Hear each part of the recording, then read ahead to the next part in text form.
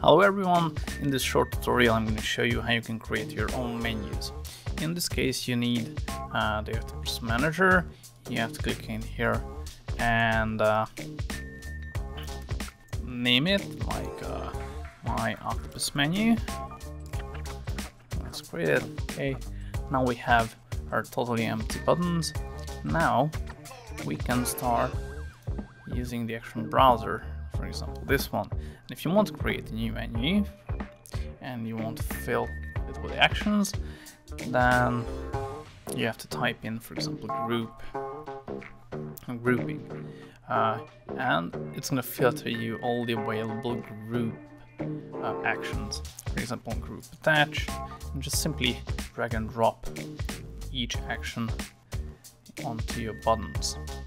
Open, close, and if you don't want to use all of the available actions, you can even move your actions by simply drag and drop them from one button to the other. And now we can save it, just like that.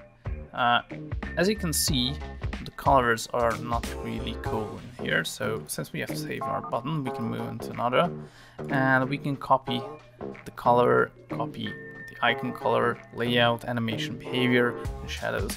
And we're gonna copy all these available commands and we're gonna paste it onto our newly created Octopus menu. As you can see, now all the colors and everything you can uh, see uh, on the available um, menu has been pasted onto our newly created menu. Now you can simply save it and in theory uh, now you can see it inside the hotkey editor. Now let's start my Octopus menu, here it is.